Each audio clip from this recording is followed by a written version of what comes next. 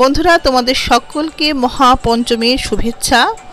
শুরু হয়ে গেছে শারদোৎসব। সেই উৎসবের রঙে রঙিয়ে নিজেকে আনন্দের স্রোতে গা ভাসিয়ে পায়ে পা মিলিয়ে বেরিয়ে পড়েছিলাম আমিও একটু প্রতিমা দর্শনে। চলে এসেছি শ্রীভূমি লেকটাউনে তোমরা সকলেই অনেকেই হয়তো জানো, এবছর শ্রীভূমির আকর্ষণ হচ্ছে বুর্জ খলিফা। দেখো, আমরা চলে এসেছি মণ্ডপের সামনে। তোমরা যে জিনিসটা দেখতে পাচ্ছ, যে আমরা রয়েছি মণ্ডপ থেকে অনেকটা দূরে। কারণ কি, এবছরে আদালতে সেরকমই নির্দেশ, কোভিড প্রোটোকল মেনে মণ্ডপ থেকে বেশ দূরে রাখা হয়েছে দর্শকদের, দর্শনার্থীদের। মাতৃমূর্তি দেখতে হচ্ছে অনেকটা দূর থেকে।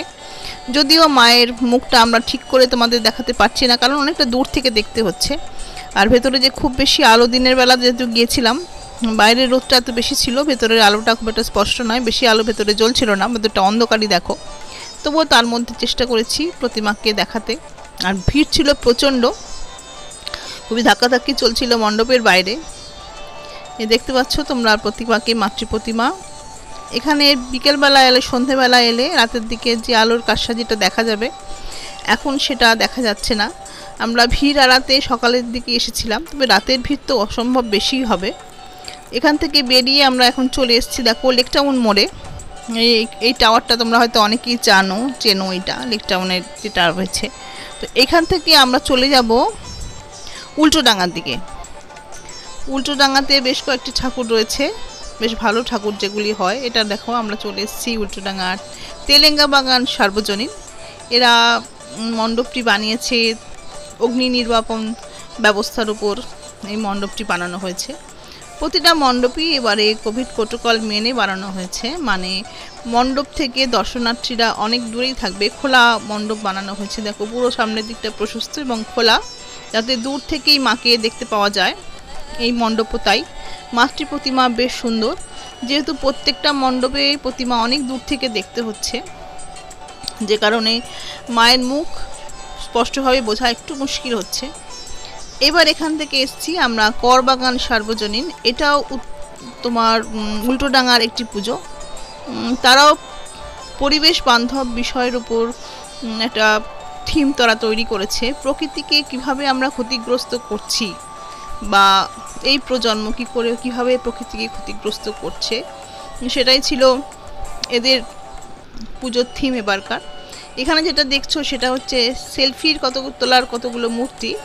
মানে ওরা এখানে যেটা আমি বুঝলাম বা ওরা বোঝাতে চাইছে যে আমাদের মধ্যে এখন সেলফি তোলাটা একটা একটা কী বল মানসিক ব্যাধির জায়গায় পৌঁছে গেছে। অনেকে কিনা মৃতদেহের সাথেও এখন সেলফি তুলছে। প্যান্ডেলের মধ্যে, মণ্ডপের মধ্যে সেই রকমই কিছু বার্তা শোনা যাচ্ছিল।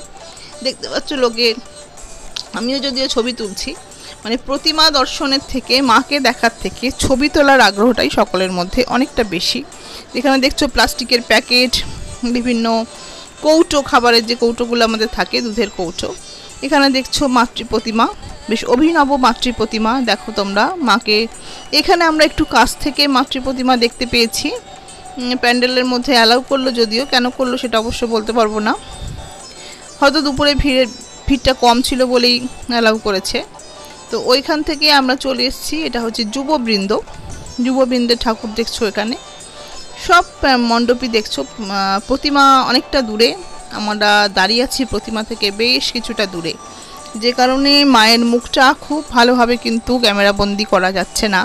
ডিস্টেন্সটা অনেকটা বেশি। ক্যামেরা জুম করেও খুব একটা বোঝানো যাচ্ছে না। যাই হোক, যতটা পারছি তোমাদের জন্য তুলে নিয়ে আসছি। আজকে এবার ফেরার পথে আগামী কয়েকটা দিন যদি বেরোই বা বেরোতে পারি, তাহলে সেই ছবিগুলি তোমাদের সাথে শেয়ার করব সেই ভিডিও। তোমরা সকলে খুব ভালো থেকো, পুজো উপভোগ করো, আনন্দে থেকো, সুস্থ থেকো এবং অবশ্যই সুরক্ষিত থেকো। আবার ফিরে আসব নতুন ভিডিও নিয়ে, সকলে খুব ভালো থেকো। টাটা।